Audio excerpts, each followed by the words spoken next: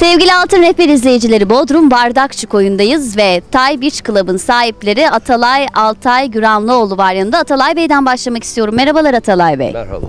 Atalay Bey birazcık bize bahsedebilir misiniz? Ee, kaç senedir faaliyet gösteriyorsunuz burada? 4 yıldan beri faaliyet gösteriyoruz. Nasıl bir konsepti var e, Tay Beach Club'ın? Bodrum'daki e, Tay Biç- Biçler arasındaki konsepti farklılığı şöyle. Yani burada insanlar rahatlığı buluyor.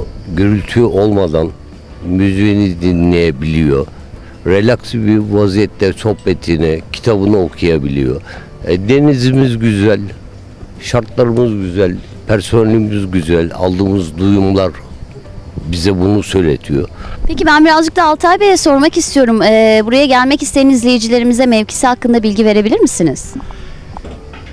Şöyle bir bilgi vereyim. Marina'ya Marina'ya geldiniz.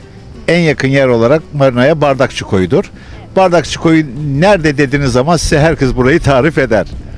Ayrıyeten de belediyenin karşısında balıkçıların olduğu yerde motorlarımız buraya kalkıyor.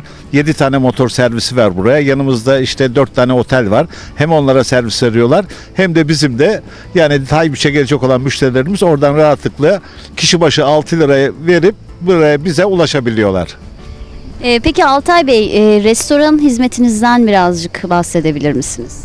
Restoranımız valla ne isterseniz var. Yok Pizzanız meşhur galiba. şey var. Pizzamız var, pidelerimiz var, hamburger, cheeseburger, efendime söyleyeyim Taybiç kombomuz var.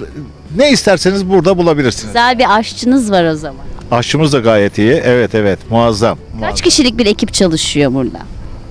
Biz burada az ve özüz. iki kişi çalışıyor burada. Fazlaya gerek yok.